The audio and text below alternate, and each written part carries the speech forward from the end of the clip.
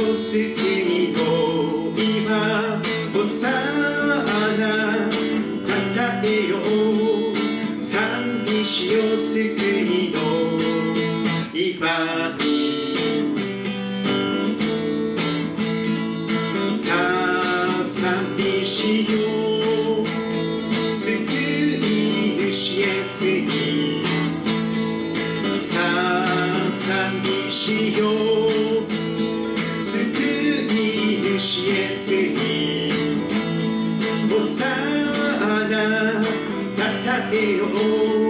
賛美しよう救いの今おさあなたたえよう賛美しよう救いの今におさあなたたえよう賛美しよう救いの今おさあなたたえよう賛美しよ救いの今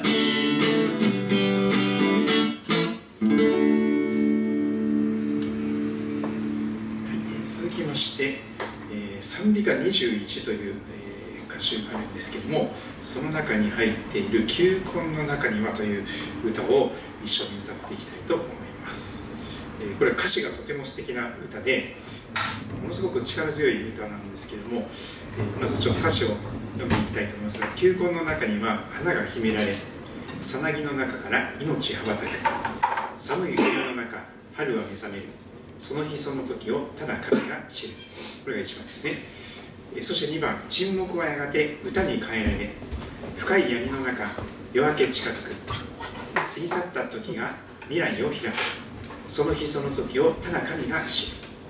これが2番です。そして3番は命の終わりは命の始め。恐れは信仰に死は復活についに変えられる永遠の朝。その日その時をただ神が知る、えー冬から春に向かっていく季節。また受難週からイースター復活祭に向かって、えー行く季節に、えーこれを歌うととてもいいかなということで皆さんと一緒に覚えていけると思います。球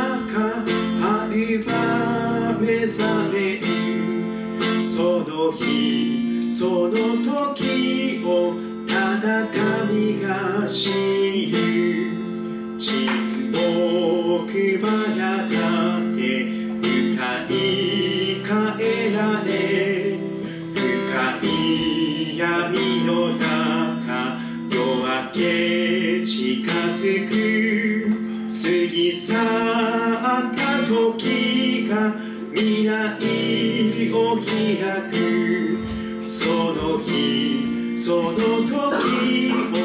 ただ神が知る命の終わりは命の始め恐れは信仰に死は復活に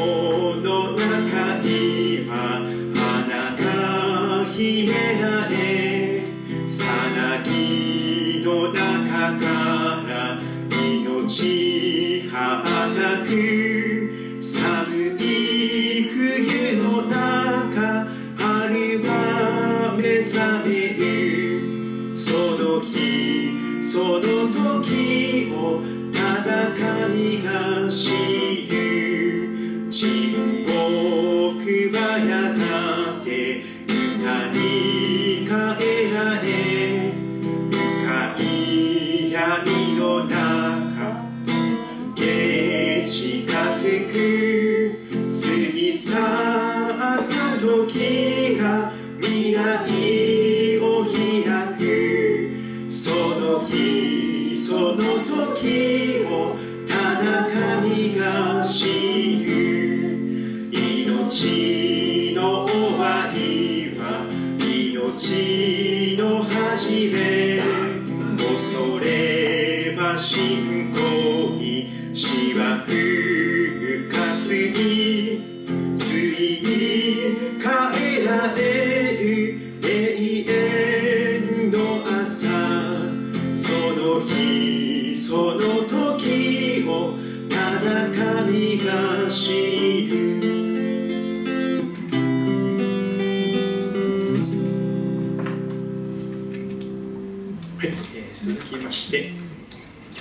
原産以下の359がこの前ございましたが、えー、英語では「インクライス s t Alone」という歌なんですけども、えー、英語では、えー、かなりシンプルな素敵な、洗練された歌なんですけどどうしても訳してしまうとちょっとなかなか、えメロディーに乗りにくいところもありますが私の望みは主イエスだけにある。これはこれも歌詞がとても素敵な歌ですので一緒に歌っていけたら教会賛美歌、はい、教会福音賛美歌の359番にこの歌があります。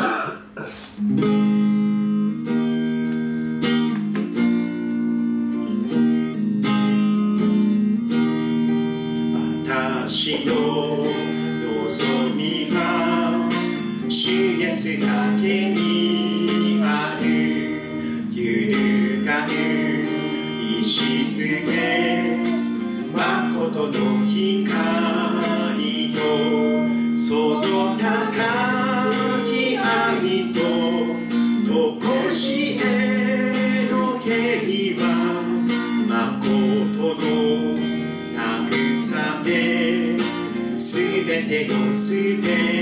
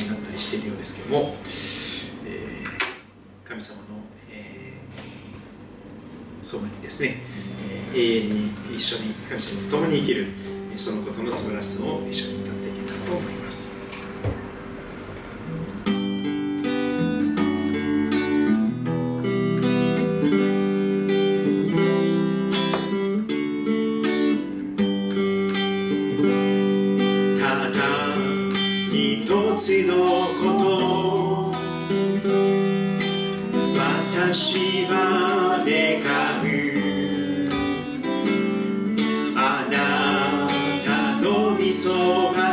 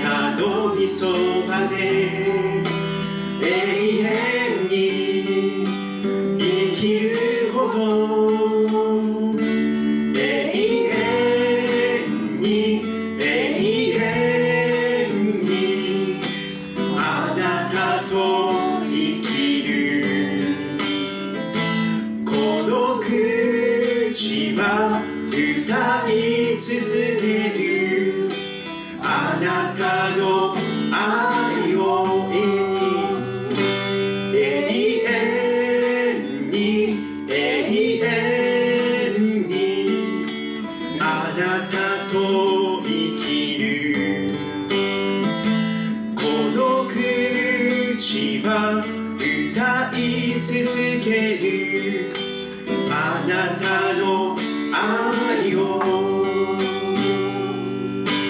あなたの愛を。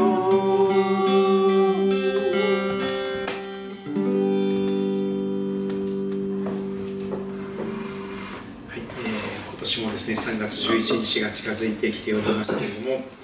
えー昨日あたりまたですね北海道で大きな揺れがあったりしておりますが、まあ、日本各地が地震列島ですからいつどこでどんな大きな地震が起こってもおかしくない、えー島国に置かれておりますが、えーこの桜はですね3.11の時の、えーそのすぐ後で咲いた水筒の桜なんですけども、えーあの状態でも桜が咲いたというのはすごく慰めでした。えー神様が苦しい時にも共にいてくださるということであるならばその時苦しい時こそえーイエス様を見上げてイエス様に寄りすがってそして賛美を通して勝利を勝ち得ていけたらと願っております。主がそばにいるからという歌を歌いましょう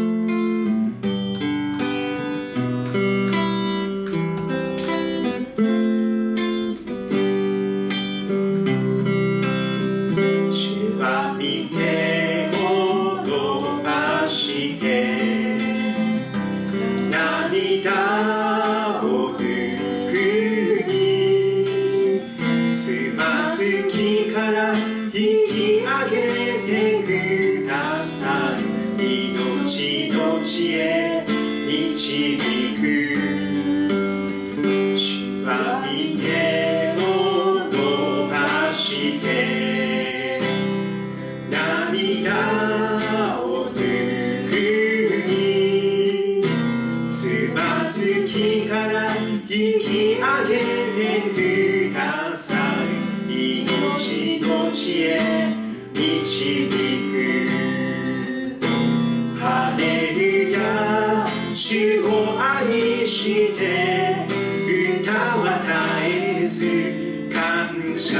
捧げ。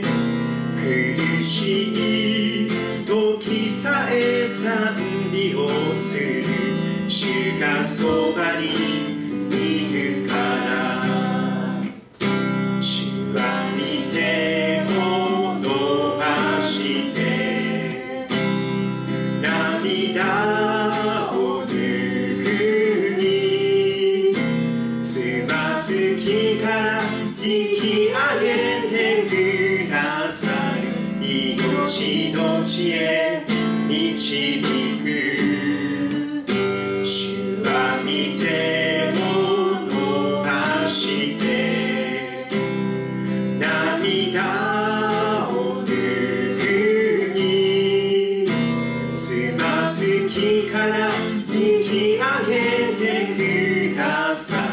命の知恵導く。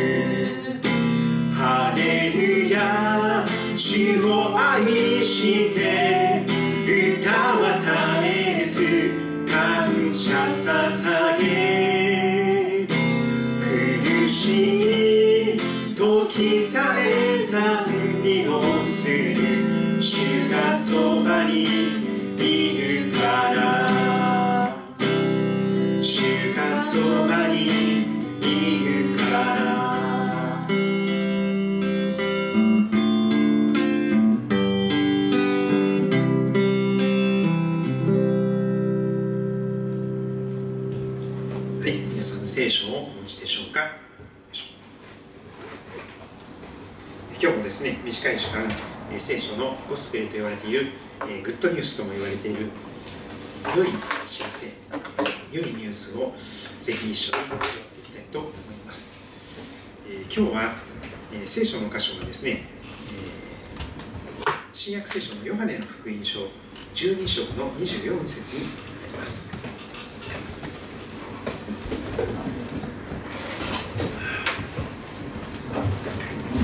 新約聖書ヨハネの福音書、えー新約聖書はまず4つの福音書が出てきますがえー主税人であったお金が神様であったマタイさん。でもイエス様に招かれて、えイエス様が神様になったマタイさん。主税人のマタイさんが書いたマタイの福音書。それから一番若い、え若手のマルコという人物が書いたマルコの福音書。そしてルカ、えーお医者さんにとして活躍してパウロと一緒に旅をしたルカの福音書。そしてヨハネ、ジョーンですね。ジョーンさんという方が近くにいる方もいらっしゃいますが、えーあのマテュー、マーク、ルーク、ジョーンなんですね英語で言うと。あのジョン・レノンのジョーンもそうなんですけど、えーヨハネの福音書というとですねなんかピンとこないかもしれませんが英語ではジョーンと言います。ザ・ゴスペル・アコーディング・トゥ・ジョーン。ヨハネの福音書の12章24 12の24倍ですから、えー覚えやすいかと思いますがヨハネ12の24ぜひ覚えてあるいは印して、えー挟んでる聖何か挟んでまたゆっくり見ていただけたらと思いますが、えーお読みいたします、えーこれはこれまでの新化訳で、えー読みますけれどもこのように訳されていました。誠に誠にあなた方に告げます。一粒の麦がもし地に落ちて死ななければそれは一つのままです。しかしもし死ねば豊かな実を結びます。もう一度読みます。新約聖書ヨハネの福音書12章24節。誠に誠にあなた方に告げます。一粒の麦がもし地に落ちて死ななければそれは一つのままです。しかしもし死ねば豊かな実を結びます。一粒の麦が、えー死ねばという題が付けられていますが、えー、眼哲学で有名な日野幸雄先生が書いた「心に御言葉の処方箋」の一番最後の章をですね今日一緒に見ていきたいと思います、えー朗読させていただきますが聞いてみてください。芽が出て花が咲き実を結ぶのは一粒の種が犠牲になって死んだからです。芽が出て花が咲いて実を結ぶということは一粒の種が犠牲になって死んだからこそそのような新しい命が芽生えてきて実を結ぶ。死なないと実を結びません。犠牲になる。人生とはそういうものなのです。そういうそういうものが大切なのです。自分の能力を誰かのために使う。犠牲を払う。こうして後世のために次の世代のために贈り物をするのが大切なことではないでしょうか。人間とはそういうものです。寿命はありますが思いは継承されるのです。肉体はなくなりますが 100, の100年後への贈り物を残していくのです。先人の声を聞いて先に人生の先輩の人の声を聞いて弔って後世後の世の人を導く。誰かの言葉を断ち切りして次の人へ贈り物をする。長い歴史の中でいかに通り良き管であるか。いかに通り良き管であるか。そうすると自分が犠牲になっても心が豊かになるのです。通り良き管という、えことがあのさ聖歌の部分に歌われますがあの、えー自分は管としてですね神様の恵みとか祝福を次の世代に、えー流していく。そういう管になりたいというかそういうことに言われています。自分が犠牲になるんですけれども心が豊かになる。そのような、え、生き方がこの自分が犠牲になってそして一粒の麦となって死んでいく。でもそのことを通して誰かの命がまた芽生えていく。命の希望のバトンを次に渡していく。そういう営みは心が豊かになるものです。尊敬できる人がいないと人の心は揺れるものです。生き方を考える上でモデルがあるというのは大きいのです。私に大きな影響を与えたのは内村勘三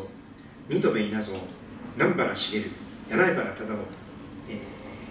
ー、吉田富蔵らです、えー、この日野先生にとってはですねあの結構無教会の、えー、先生方というかですねまた日本でかなり活躍された、えー、戦後の日本えー、明治時代の日本をですね本当に、えー、そそして、え戦中戦後へと続いていくその歩みが、私は対話を通して言葉の処方箋を出していますがその多くは彼らの言葉です。良い著書著書を繰り返し読み自分の言葉としているのです。新渡戸稲造の武士道は8年前から地元で読書会を開いています。ウィリアム・クラーク博士のいた札幌農学校現在の北海道大学で共に学んだ内村勘三と新渡戸稲造。そして新渡戸稲造が第一高等学校の校長だった時の生徒であり東大の戦後初の総長となった南原茂。同じく内村勘三の聖書研究会に入り次の総長となった柳原忠夫彼らは皆キリスト者であり戦後の日本で重要な働きを担った人たちです。クリスチャンでない人たちもよく知っているでしょう。また吉田富蔵は国際的にも活躍した元財団法人がん研究会がん研究所長で私と同じ病理学者です。かのクラーク博士が札幌にいたのはわずか8ヶ月でした。内村勘三ニートピー謎はクラーク博士が去ってから入学しています。けれどもクラーク博士は Boys be ambitious 青年よ大志を抱けとの言葉をとともに多くの影響を残していきました。聞いたことはありますよね。Boys be ambitious 青年よ大志を抱け。その後には In Christ キリストにあってという言葉も続くと言われますが彼はそのために聞きました。青年たちに希望を与えたのです。内村勘三二戸稲造に感銘を与え彼らを主とする南原茂や柳原忠夫がいてさらに今私が影響を受けています。良い書物そして語り合える友尊敬できるし一つの良き出会いには人生を大きく変える力があるのです。患者さん本人が亡くなった後もご家族ががん哲学外来カフェに来て個人の思い出話に花が咲いたりします。がんであっても良き思い出を残し天寿を全うすることができます。地上の命が終わった後に残るのはその人のユーモアや風貌です。あなたはどのようなものを残していきたいでしょうか？生まれた時にも時があるように死ぬ時にも時があるのです。全てに時があります。皆大河の一滴なのです。そしてこの宇野先生最後にですね旧約聖書の伝道者の書の3章の1節から11節を、え引用しています、えー、伝道者の書3章の1節から11節、えそれも読みたいと思います。こんなメッセージです。天の下では何事にも定まった時期があり全ての営みには時がある。生まれるのに時があり死ぬのに時がある。植えるのに時があり植えたものを引き抜くのに時がある。殺すのに時があり癒すのに時がある。崩すのに時があり立てるのに時がある。泣くのに時があり微笑むのに時がある。嘆くのに時があり踊るのに時がある。石を投げ捨てるのに時があり石を集めるのに時がある。抱擁するのに時があり抱擁をやめるのに時がある。探すのに時があり失うのに時がある。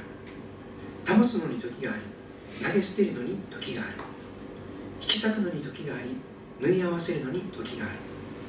黙っているのに時があり話をするのに時がある。愛するのに時があり憎むのに時がある。戦うのに時があり和睦するのに時がある。働く者は労苦して何の益を得よう。私は神の神が人の子らに与えて労苦させる仕事を見た。神のなさることは全て時にかなって美しい。神はまた人の心に永遠を与えられた。しかし人は神が行われる御業を初めから終わりまで見極めることができない。そんなことが書かれています。皆さんにとって尊敬できる人憧れの人というのは誰でしょうか？子供の言葉で言うと皆さんにとってのヒーロー。ヒーローは誰か、えー、格闘技の選手であったりとかですね。あるいはいろんな、えー、尊敬できる憧れの私もこんな人になりたいという人がいらっしゃると思いますけども。皆さんいかがでしょうか。私にとってのですねヒーローというかうんそういう人たちは何人かいたわけなんですけどえー、まず中学校を卒業した後ですね。あの私は普通高校に入らずに高専というところに行って5年間、全寮制でですねあ最初の2年間は全寮制で、えー、そして結局5年間寮にいたんですけどもそこに行った時にですね、えー、かなり人生の大きな出会いがありました。中学生の時は帰宅部だったんです、えー、腕立ても10回もできなかったぐらい平和なものだったと思います。とにかくゲームが大好きな少年でもう学校からいち早く帰ってきてゲームをやってる。そのゲームに応じてそのエレクトロニクスというか電子工学に興味を持って半導体に興味を持ってやがて私はそのその電気工学を学ぶために、えー、その高専というところに行って工学を学んでいったわけなんですけど、まあ、とにかくひ弱な青年あ少年でした。ところがですねその高専に入った時にショックなことがあったんですよね。あの、えー、その部活の勧誘があったんですけどそれぞれの部活の人が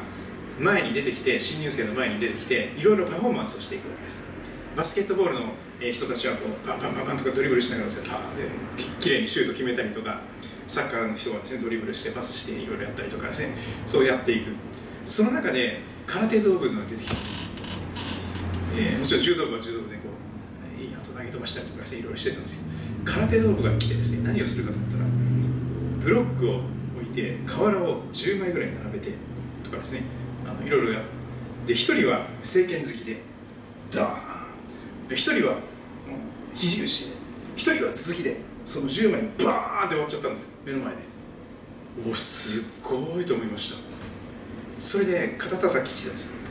君強くなれる。よ君と空手部ちょっと見学に来てと言ってそれが私の運命の一つですよね。腕立て10回もできない青年が少年器用な少年がすごい憧れてしまって強さに。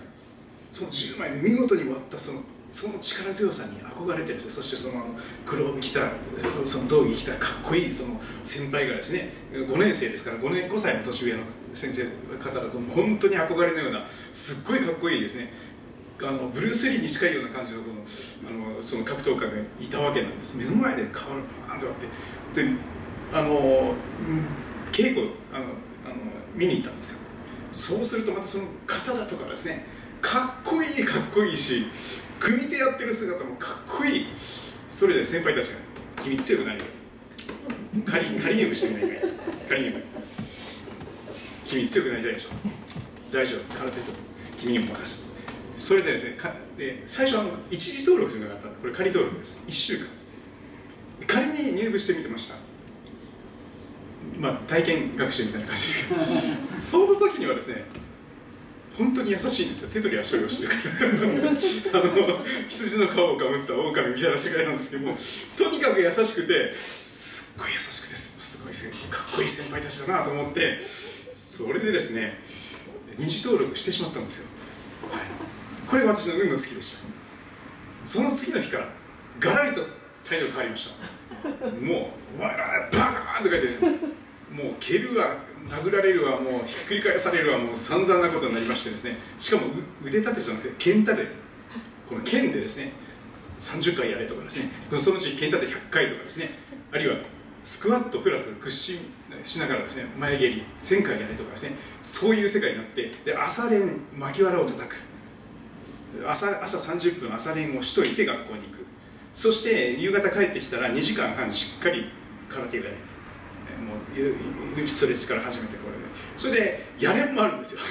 9時から9時半まで。それもまたですねあの鬼のような稽古があってですねもうまたせっかくお風呂に入ったのに汗が吹きてもう血がもうこの最初剣立てできないですけどこの血がボロボロもう本当にこう皮がむけてですねもう血だらけになってそれでもやるわけですよね。でもそういう中でこう巻きわら叩いたりとかサンドバッグ叩いてやる中でだんだんだんだんこう強くなっていったわけなんですよ。それで何事もなく100回このあのこの剣立てができたりとかですね屈伸眉毛で1000回やってもあんまり息があのあの上がらないとかっていうぐらいになったんですけどもそれはもう血と涙の「あのはい根性根性!」とか言ってですね「はい気合がどうだ!」とか言って「気合いけい!」とか言ってすねもうすごい勢いでであの寮で会おうとあの学校の中で会おうととにかく先輩がいたらですね見て見かけたらもう直立で「おっす!」とか言ってですね 挨拶しないと後でとんでもない目に遭いますから もうとにかく大声で「おっす!」と言ってですねもうそれがもうもうその空手道部のこの雰囲気がもう分かりますけどもとにかく怖い先輩だったんですよ本当に組手なんかやったらボコボコにされました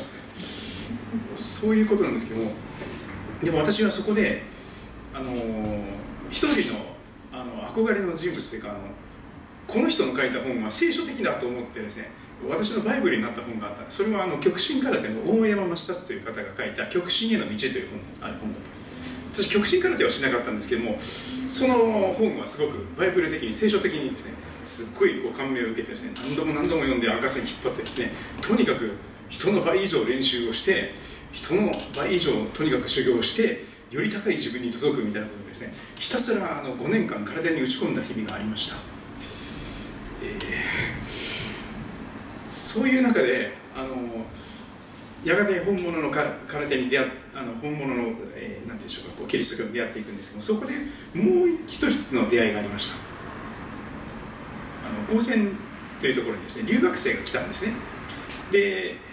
フィリピンから来た留学生がある時に来ました。でちょうど家庭教師のアルバイトをしてたんですけどもうん日本語を教えてあげて漢字だとかその教科書の読み方を教えてあげてあるいは日本の文化とかいろんなものを教えてあげるその家庭教師的な先生その留学生の家庭教師的なアルバイトを募集しますというのが掲示板に貼られていたんです。それで私はそれに募集したらちょうどあの採用されてですねフィリピンから来たその留学生の、えー、お世話係のアルバイトをさせていただくことになりました。寮寮で隣の部屋になって、まあ、彼はすごくあのいい友達になれてですね国籍と文違いましたけども、うん、日本語と英語の、えー、なんとかでこうコミュニケーションを取ってジェスチャーでやって、えー、またいろいろ書いてですねコミュニケーションを取っていきました。その彼が実はクリスチャンだったんです。私が生まれて最初に出会ったクリスチャンはそのその彼でした。それまで隠れキリシタンもいたかもしれませんが私クリスチャンですという人に出会ったのはその時が初めてでした。20年間生きてたんですけども二十歳の時でしたけども、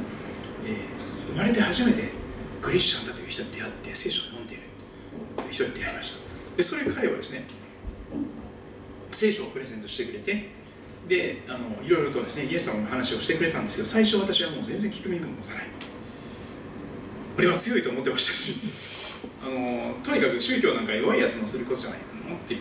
私は強いから聖書なんか読むやつはめめしいとか思ってですね絶対に聖書なんか読まないとかって思っていたんですけど私は強いから宗教なんか必要ないと信仰なんか必要ないと思っていたんですけどでも心の中に虚しさとか、えー、孤独、えー、あるいは虚しさがあった姿が思い浮かびます。それが私のティーンエイジの世界ですけど空手にややればやるほどなんかですねなんか虚しが虚しさが募っていくわけなんですね。で瓦10枚割れるようになってもそれでも虚しいんですよ。でなんかですねあの、えー、なんかキリがないんですねとにかく。やればやるほどなんかもっと自分が弱いということが分かっていくようなところも。でもあの人前では強がってですね、えー、強さを出し出して弱さを絶対に見せないみたいな感じで一生懸命痩せ我慢をして強がって生きていた姿があります。でも本当はすごい脆さというか弱さを抱えていたのが私自身だったと思います。そういう中で聖書は読む気にならなかったんですけど三浦綾子さんの書いた「塩刈峠」という本も彼がプレゼントというか読んでみてらって貸してくれたんです。その本が、えー、私にとっての、えー、大きな、えー、出会いの本でしたね。あの新潮文庫の100冊の中にもありますのでぜひ読んでない方は読んでみてください。三浦綾子さんの書いた「塩刈峠」という本は読む価値のある本だと思います。私はそれを読まなければクリスチャンになっていなかったと思いますしそれを読まなければ聖書も読まなかった、もう自分が聖書というかその大山抹殺の極真への道が聖書だと思ってましたから とにかくあの努力しないやつはダメだとかですね。自分で一生懸命自分を磨かないようなやつはダメだとすごい思ってましたからもう相当ですねあの寄れば寄れば切るみたいな世界でしたので相当高慢なところもありましたし、えー、強がっていた自分の姿を思い浮かべます。その塩刈峠を読み始めた時にいろんなことが心に響いてきました。例えばそのお父さんが死んでしまう場面があるんですけどもそのことを通して人間の死という現実が身近なものとして考えられていくわけです。そして、えー、いろんなことで悩んでいた青年がですねその息子さんがお父さんが突然亡くなったことで自分もいつか必ず死ななければいけない存在なんだということに愕然としていく姿ですとかそしてお父さんが残した遺言それもまたすごいんですよ。私の遺言もそれにしたいと思ってるんですけどもあのお父さんはこんな遺言を残したんです。私が日々喋っていたこと私が日々やっていたことそれすなわち遺言だと思ってほしい。私は毎日そのような覚悟で毎日を生きていたんだと。自分の日常生活がすなわち遺言なんだと。そういう遺言がお父さんの遺言だったんです。かっこいいなと思いました。自分の日常生活がすなわち遺言。これ最高じゃないのと思いましたね。自分が普段語っていること自分が普段やっていること自分の普段の生活がそのまんま遺言にななっているというかそのつもりで毎日生きてきたってお父さんがそういう言い切って書いてるわけです。すごいな私こんな遺言書きたいなと思いました。でそういう生き方もしたいなと思いました。自分の日常生活がすなわち遺言のようなそういう確かな生き方をしたい。でさらに続けて塩刈り上を読んでいきますと伝道者が辻説法というか路傍伝道をしている姿が場面が出てくるんですけどもすごく感銘を受けたその青年がですねいや自分も洗礼を受けてクリスチャンの信信者になりたいですとかって言うんですけども、えー、まあいろいろなことでですねあの試されてそして自分の罪深さが愛のなさが嫌ということが分かっていく中でイエス様の十字架の愛が迫ってくる。そしてイエス様を信じたキリスト教徒になっていく。そしてちょっとあの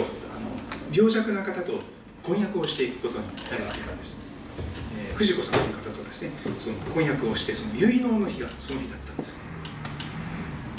で結納のために列車に乗ってその場所に向かっていたところです。そこに塩刈峠という峠があったわけですね。峠を越えて向こうに行かなければその結納ができないと。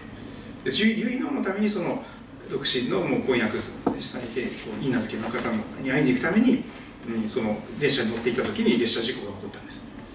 列車のが峠を登りきる前にその上り坂で連結器が外れてしまって事故になって後ろの客車が後ろ後すざりをし始めて機関車をどんどん前に勝手に置いてけぼりにしてですね客車をどんどんどんどん後ろに暴走し始めていくということが実際に起こったそうですそれでですねその乗ってた乗客がパニックになったんですけども、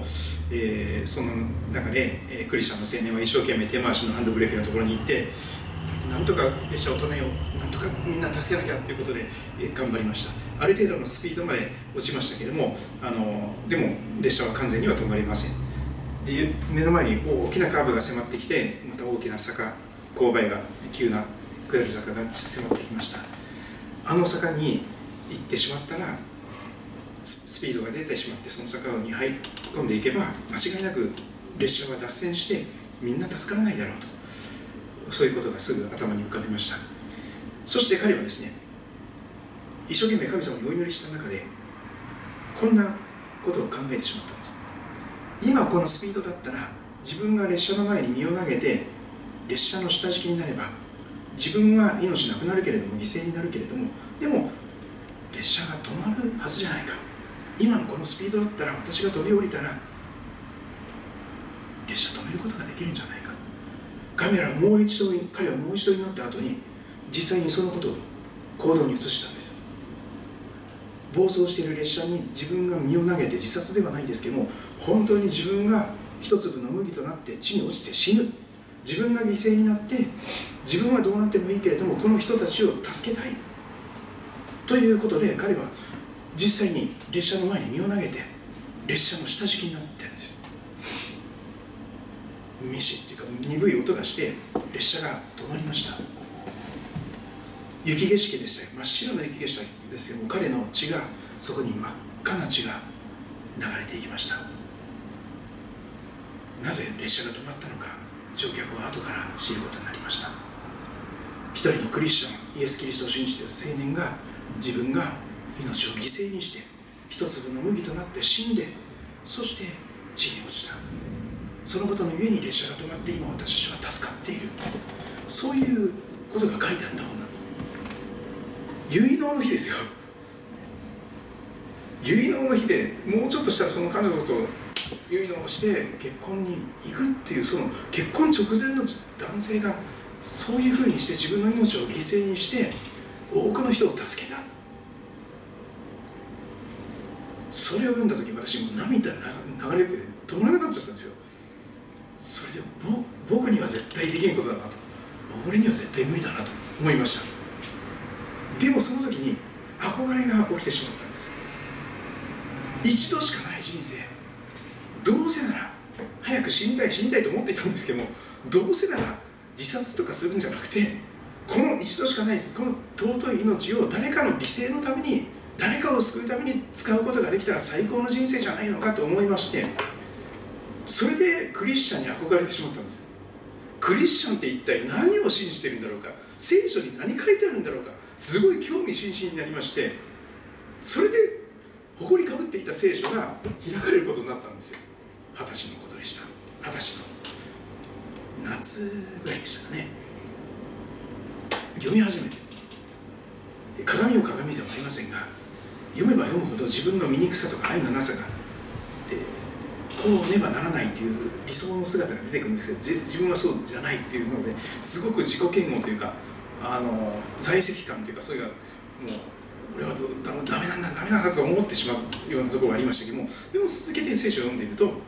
私の目にはあなたはこうかれたって私はあなたを愛していると。全てを見通しで全部知られている神様がそれでも私以上に私のことを完全に知っていてこんな弱いこんな無力なこんなどうしようもない自分勝手な私をそれでも愛してくださっているという神様がいるということが書かれてあったんです。そしてこんな罪人の私のために十字架で命を捨ててくださった神様がいらっしゃる。そしてその方はよみがえられて今も生きておられるということをが、まあ、そのことが分かってきてですね、まあ、罪がどれほど分かっていたかそれは疑問のところですがとにかくイエス様が私のために十字架にかかって死んでくれたんだ。そしてよみがえって今も生きてらっしゃるんだ。ということだけは信じまして。で僕先生のところに行ってですねいや実は信じたので洗礼を受けたいんですけどって言ってそれで聖書の学びをしていただいてでも9月に教会に行き始めて9、10、11、12、12月、その時の12月の、えー、クリスマスの時にですね、洗礼を受けましたから、まあ、本当に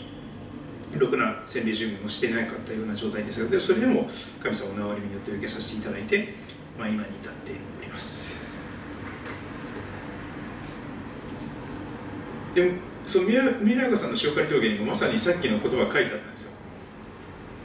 誠に誠にあなた方に告げます。一粒の麦がもし地に落ちて死ななければそれは一つのままですしかしもし死ねば豊かな実を結びます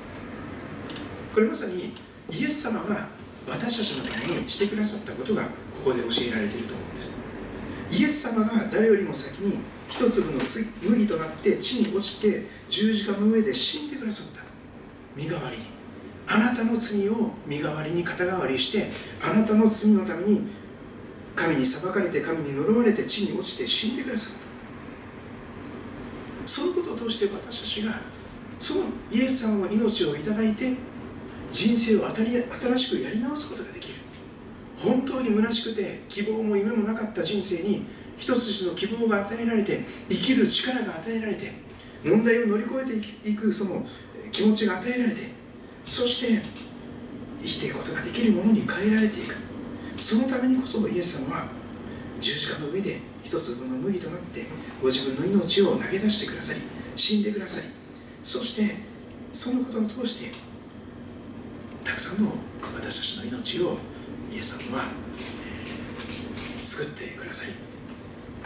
えー、生かしてくださっているということが聖書に書かれている内容です、えー、ぜひ皆さんもですね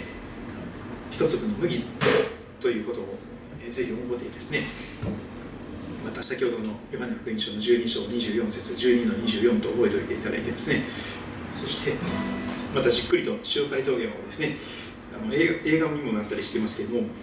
まあ、本を読むのが一番良いかなと思いますが、まあ、読む気になれば1週間あれば読めると思いますのでぜひあの読んでいただけると感謝です、えー、私にとってはだから三浦綾子さんというかそのクリスチャンの小説家ですとかその方の書いた塩刈峠あるいはそのフィリピンの留学生あるいは、えーまあ、いろいろですねそういう方々があの元元はだから、えー、極真空手だとかですね K1 の選手だとかアンディ・フーだとかですね、えー、いろいろ言いましたけどあのでもあの今は私の一番のヒーローはイエス様になっておりますけども、えー、ぜひですねこの「ガトブレスユー」を歌って、えー、皆さんの祝福を一緒にできたらと思います。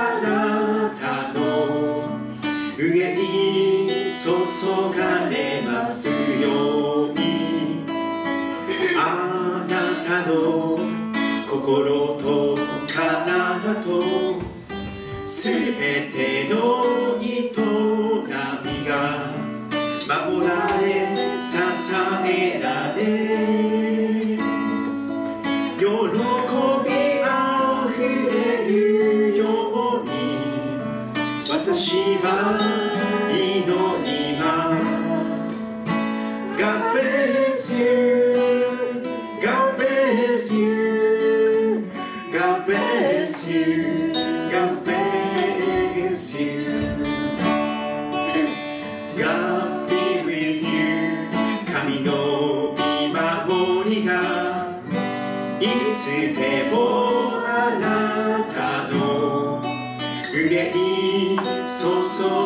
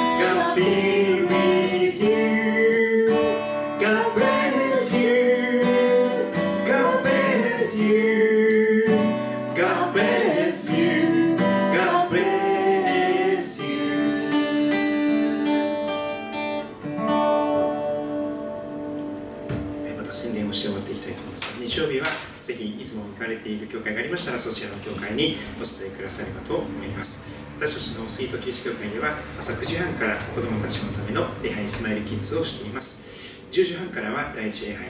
え4時からは JJ ユース礼拝、えー、青年たちのための礼拝ですね。ジーザスジュニア JJ です。で午後8時から9時は幽霊拝もしています。昼間に、えー、過ごつかなくて体力のある方余裕のある方は幽霊拝にもお進みください、えー、インターネットで放送もしておりますのでから、えー、メッセージなどもご覧になりますのでそれもご利用くださればと思います。ここに来られてない方のためにいつも地図をご紹介していますが一番近い駅は東武動物公園の駅です。東武スカイツリーラインですね。日光線伊勢崎線に分かれる駅になります。東口から出て、えー、古利根川を渡りますと杉戸町に入ります、え、初めての方は本陣跡地前というところまでまっすぐ進んでその信号で右に曲がって杉戸高校の前を通って来られますと十字架が掲げられた白い箱型の建物が、えー、ありますので遊びに来てくださればと思います。旧日光街道にもなっております。広島とか福島とかですとですねもう昔の昔との歴史が全然切断されてしまって町も跡形もなく変わってしまっているような状況がありますが杉戸町は感謝のことに、えー、相当昔からほとんど変わってない町並みがあるというそういう不思議な町です、えー、本当に何も変わってないじゃない駅前も何も変わってないじゃないっていう世界なんですけども、まあ、それもまた良さがあると思うんですけどもでもまた、えー、またですね変えるべきところがありましたらまたねよより良い形で変えていけたらと思いますけども、えー、ぜひ遊びに来ていただけたらと思います。日本日光街道の杉戸宿、えー、宿場町にもなっております、えー、以上で、えー、福音キスを終わっていきたいと思いますが、えー、皆様の上に神様の祝福が豊かにありますようにありがとう